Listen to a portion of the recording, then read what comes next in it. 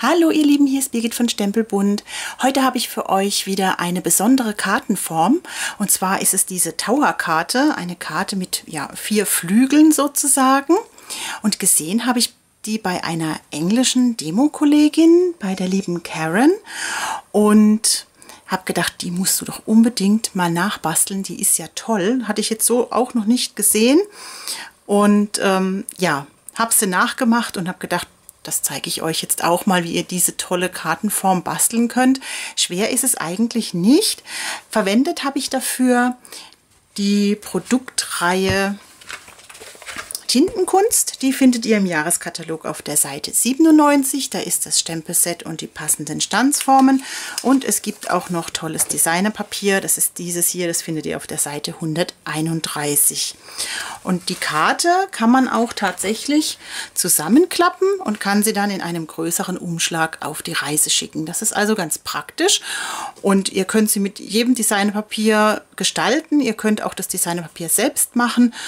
Und wie ihr diese Karte gestalten könnt, das zeige ich euch jetzt. Was braucht ihr dafür? Zunächst einmal Farbkarton. Und zwar, wir fangen hier mal an. Das ist ein Stück in Farngrün. Das hat die Maße 14,5 x 17,5 cm bzw. in Inch 6 Inch x 7 Inch. Dann braucht ihr drei Stück Farbkarton, auch in Farngrün mit den Maßen 7,5 x 14,5 cm bzw. 3 Inch x 6 Inch. Also die Inchkarte ist etwas größer wie meine Zentimeterkarte jetzt.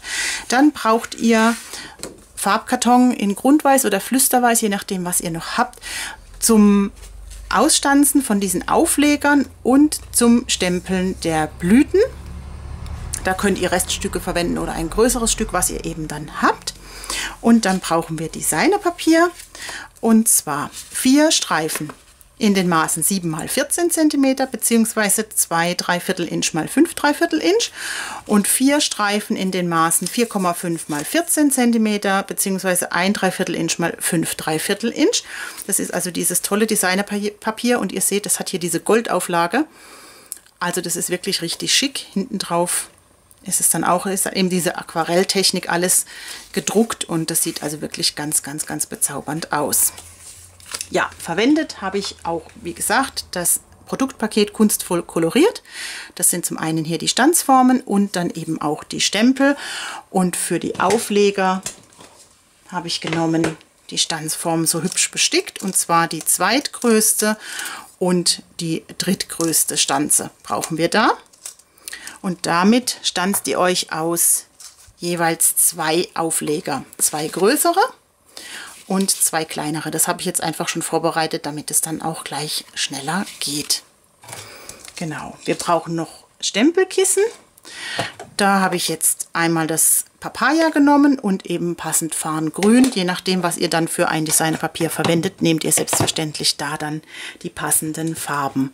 Und ich habe auch noch die fabelhaften Funkelsteine verwendet. Müsst ihr jetzt nicht unbedingt machen, das bringt halt noch mal ein bisschen Glitzer. Genau, wir starten.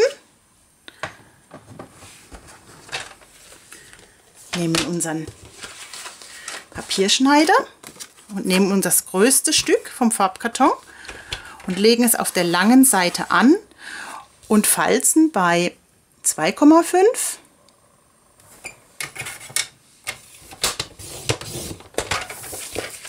bei 5 bei 7,5 und bei 10 cm bzw. 1 Inch, 2 Inch, 3 Inch und 4 Inch. Das war es auch schon mit dem Falzen. Dann knicken wir uns die Linien einmal nach.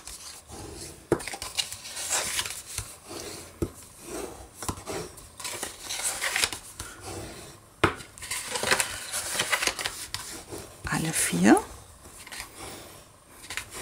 So, wenn wir das jetzt aufstellen, einmal so umklappen, dann seht ihr, wie die Kartenform vom Grundsatz her entsteht. Ihr habt jetzt also so einen Tunnel, das ist das Mittelteil und hier kommen dann die Flügel entsprechend dran an, die, an dieses Innenteil, an dieses Mittelteil. Genau. vorher, bevor wir das jetzt hier gleich zusammenkleben, machen wir uns erst noch die Stempel. Und zwar brauchen wir einmal die Blüte und zweimal die Blätter und auch die kleinen Blüten müssen wir einmal stempeln. Die habe ich mir jetzt hier auf den Block gezogen. Dann stempeln wir uns das einmal ab.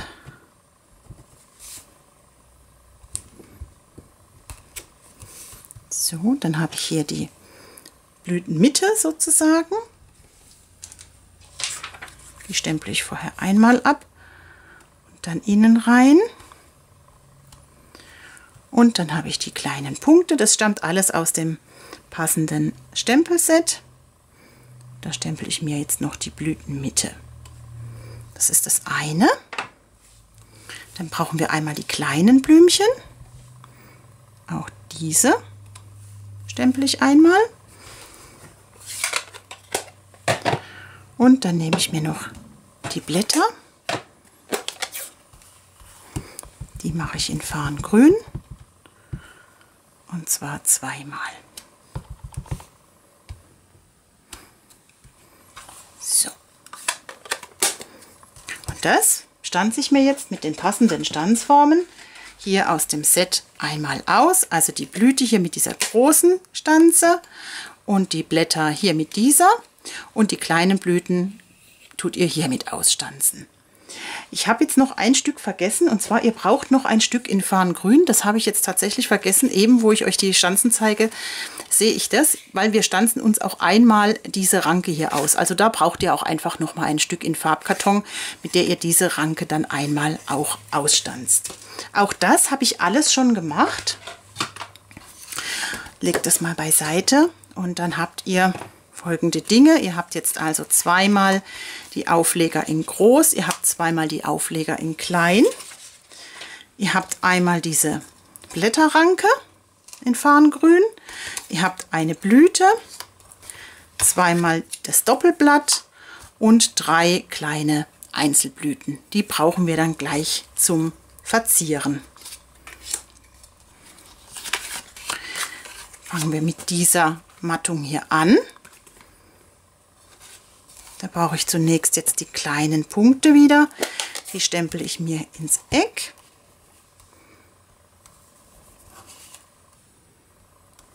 So. Und die Blüte klebe ich mir 3D mit Dimensionals auf.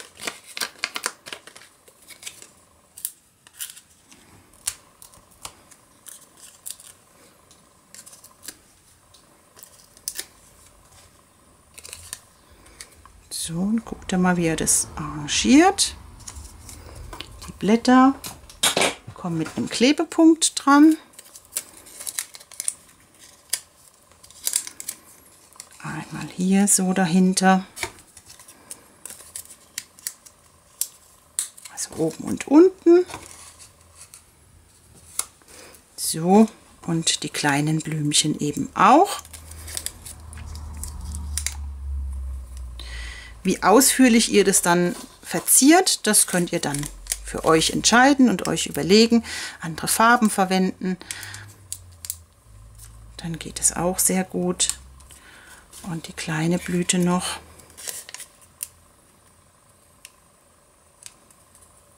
Die kommt hier oben noch ins Eck. Genau, dann wäre die erste Mattung sozusagen fertig. Das haben wir jetzt hier gemacht. Genau, dann gehen wir auf die nächste große nochmal. Und da kommt eben jetzt diese Blätterranke drauf. Dafür stemple ich mir die kleinen Pünktchen jetzt aber in Papaya, nicht in Farngrün.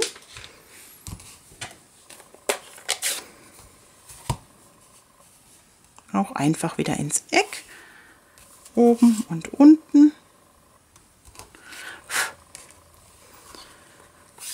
Und hierauf kommt unsere Blätterranke. Und da müsst ihr ein bisschen aufpassen. Die hat ja so einen Schwung. Und die soll sich ja hier auf diesem Panel dann eben einmal ausbreiten, dass ihr die nicht zu schräg aufklebt, sonst passt es hier oben in die Ecke nicht mehr rein. Also möglichst gerade diese Ranke aufkleben. Und das könnt ihr jetzt mit ein bisschen Flüssigkleber machen, so punktuell, das langt dann schon. Oder ihr könnt auch einen Klebepunkt nehmen, was ihr dann eben habt und was ihr verwenden möchtet. Es kann ruhig dann ein bisschen springen auch, dann sieht das Ganze ein bisschen lebendiger aus. Also einmal auch so ein bisschen drüber stehen lassen. Wie gesagt, hier oben möglichst gerade.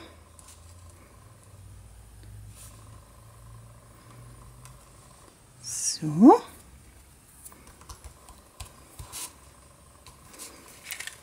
Genau, wer möchte, kann jetzt hier punktuell einfach noch festkleben. Das muss man aber gar nicht, das darf ruhig ein bisschen springen. Hier oben in die Mitte setzen wir uns noch zwei Funkelsteinchen.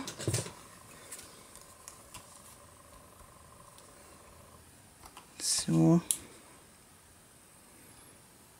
Genau, und damit wäre diese Mattung dann auch schon fertig. Das legen wir beiseite.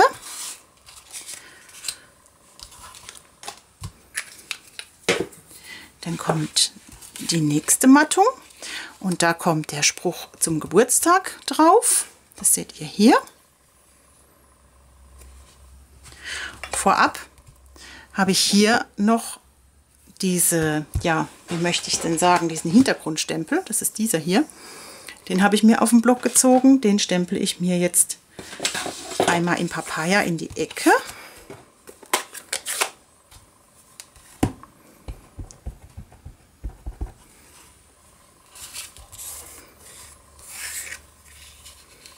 Einmal hier unten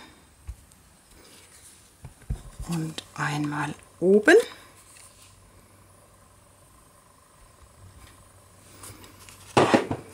Genau, dann einmal schräg den Geburtstag.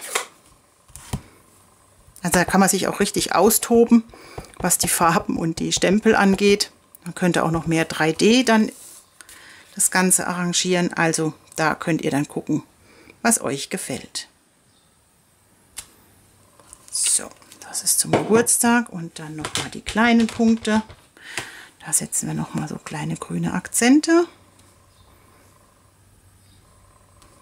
So, damit wäre diese Mattung auch fertig.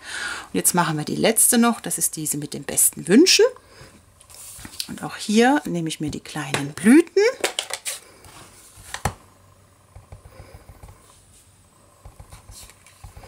Die stempel ich hier unten ins Eck. Und dann habe ich hier das Einzelblatt.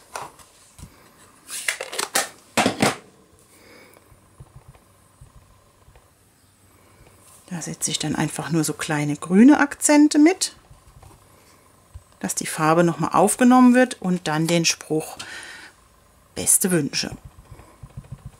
Das findet ihr alles im Stempelset.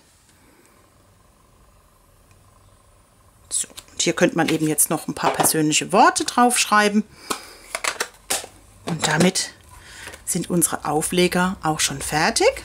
Also wie gesagt, wenn ihr was schreiben wollt, bitte vorher vorm Aufkleben. Es geht rein theoretisch auch, wenn man sehr platt drückt, aber dann hat man doch so ein bisschen eine Kante drin und das wäre dann nicht so geschickt. Genau, jetzt packen wir die Stempel aber mal weg.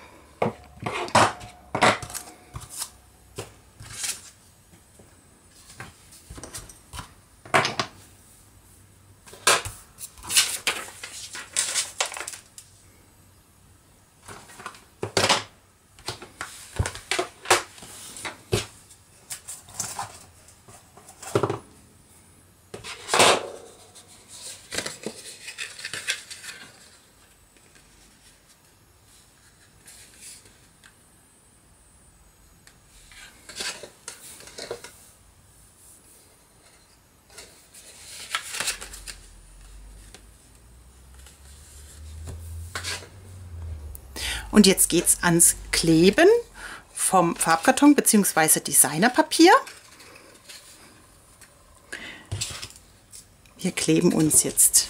Achso, das möchte ich noch erklären. Also ihr könnt die Karte verwenden, indem ihr die große Seite nach rechts setzt. Wenn ihr das Ganze drehen würdet, wären die kleinen Seiten rechts. Das müsst ihr euch jetzt überlegen, wie ihr es arrangieren wollt. Aber um natürlich was aufzubringen, macht es so rum mehr Sinn. Man könnte natürlich auch hier schmale Teile aufkleben, aber ähm, ich denke, um, um das richtig auszudekorieren, macht es eben so rum, dass das Ganze nach rechts zeigt. Die große Fläche macht dann einfach mehr Sinn. Genau. Also, jetzt kleben wir uns hier die Schachtel, die Basis einmal zusammen.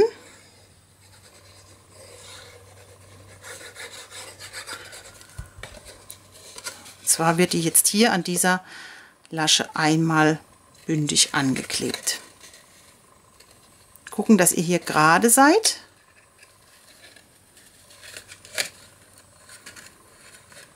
Dass das dann auch alles schön quadratisch ist und passt.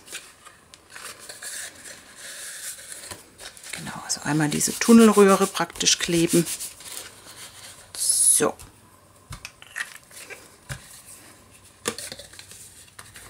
Genau. Und jetzt kleben wir uns das Designerpapier. Ich habe jetzt hier die drei. Die großen kommen jetzt also hier einmal flächig drauf.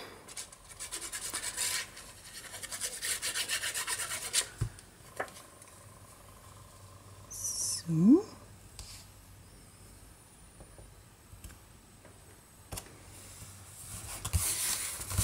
Einmal.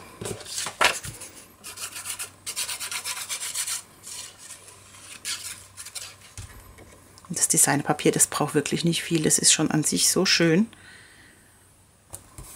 Wer möchte, könnte jetzt auch noch eine zweite Mattung aufbringen.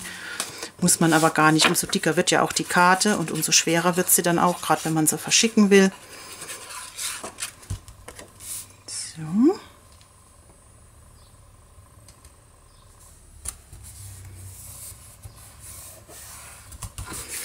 Das letzte kommt jetzt hier drauf.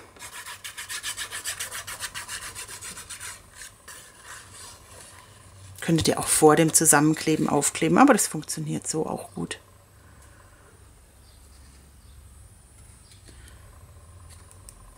Weil das ja relativ gerade alles ist. So. Genau.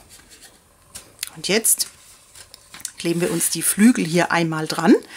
Oder aber, ihr könnt jetzt natürlich auch hergehen und diese aus, das zum Ausdekorieren schon vorher aufbringen. Ich klebe jetzt erst die Flügel. Das ist jetzt einfach eine Geschmackssache, wie es für euch besser ist. Es geht beides. Und äh, wie gesagt, wenn ihr das, wenn ihr euch sicher oder sicher sein wollt, dass alles gerade wird, dann klebt ihr das jetzt vorher drauf. Ich klebe jetzt erst die Flügel. Bevor ich das mache, fällt mir aber ein, ich muss ja auch noch die Rückseite dekorieren. Das sind ja hier noch unsere kleinen Streifen. Und die kommen jetzt einmal hier drauf.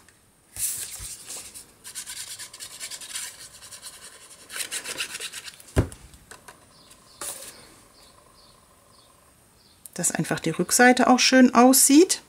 Auch das müsstet ihr nicht, wenn ihr Designerpapier sparen wollt. Dann lasst ihr das hier einfach mit dem Farbkarton frei. Die Farbe wird ja wiederholt, also von daher ist es nicht ganz so dramatisch. Und bei diesen hier drehen wir uns die rum und kleben auf die linke Seite einmal diese Stücke.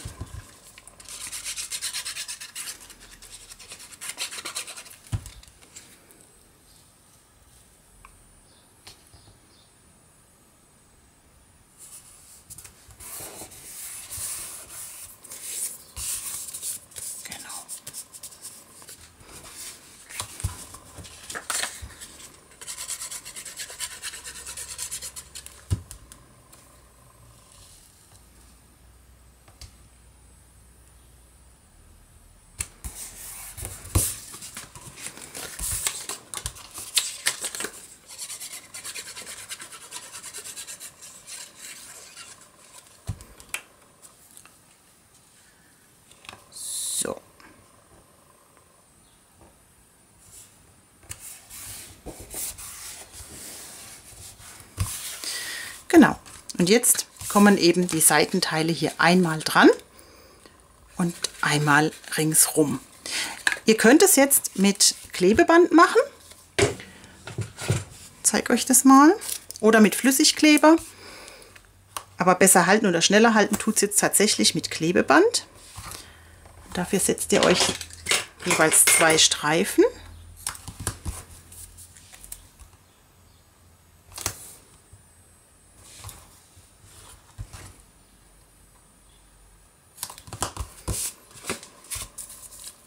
Hier auf dem freien Bereich, wo der Farbkarton eben ist, weil das klebt ja dann. Wichtig ist, dass ihr hier auch ein bisschen Abstand zum Designerpapier lasst, dass euch das dann nicht das Design verklebt.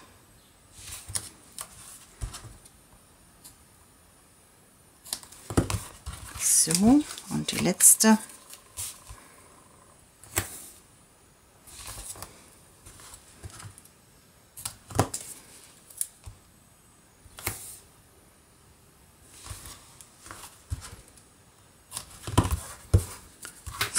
So, das nochmal fest drücken.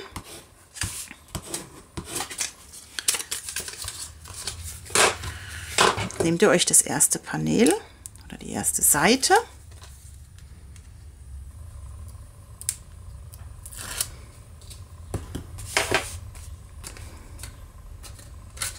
So fangen wir ja an. Das ist unsere Basis, das nach vorne. Dann drehen wir uns das rum, dass wir auch das farbige Teil wieder sehen. Setzen das ganz hier hinten in der Ecke an. Stellen es auf und klappen es einmal um. Und dann klebt ihr euch das ganz gerade an diese Kante dran. Ganz exakt und ganz sauber. Einmal festdrücken und drehen. Und so geht es wirklich, da bleibt ihr ganz gerade, das funktioniert super gut. Und das ist unabhängig davon, ob ihr jetzt Flüssigkleber nehmt oder, ähm, oder das Klebeband. Aber beim Flüssigkleber kann es euch natürlich dann auch nochmal verrutschen. Also, schöne Seite zu euch. Hinten in die Ecke anlegen. Gucken, dass es stabil aufsteht und einmal rumschieben und festkleben. Das machen wir jetzt beim letzten auch noch.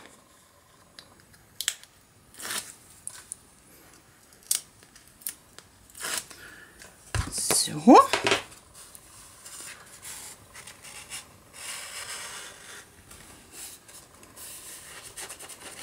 Und einmal festdrücken.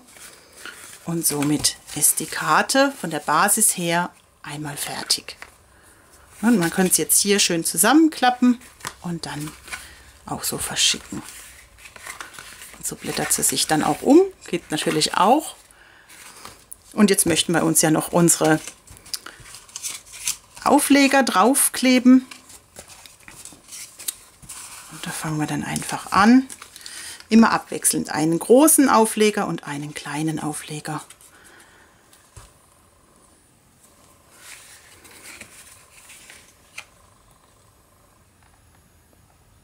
schön ausmitten.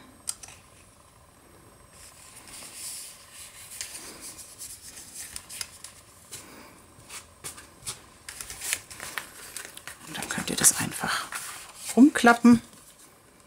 Kleinen Aufleger könnt ihr jetzt auch zunächst zum Geburtstag dann noch nehmen.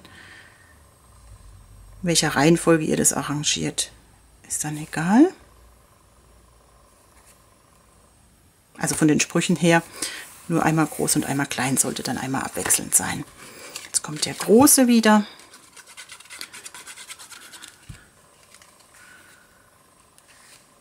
Und ihr seht, es passt jetzt hier.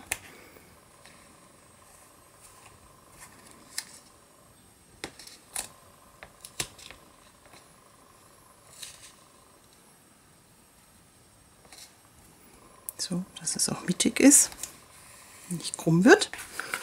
Ein letztes Mal noch diesen Aufleger.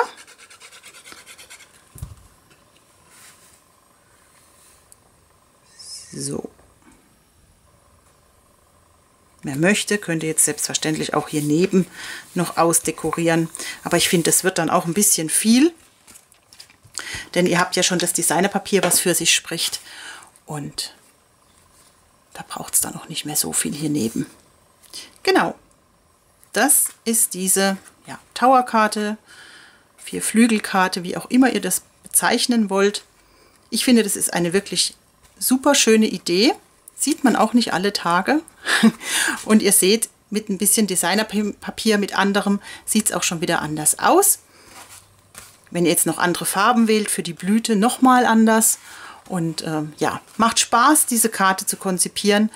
Und ich denke, der Beschenkte freut sich auch, wenn er sie bekommt, denn er kann sie sich ja dann anschließend irgendwo auf den Schrank oder äh, ins Regal stellen und hat dann noch ganz lange Freude dran. Genau.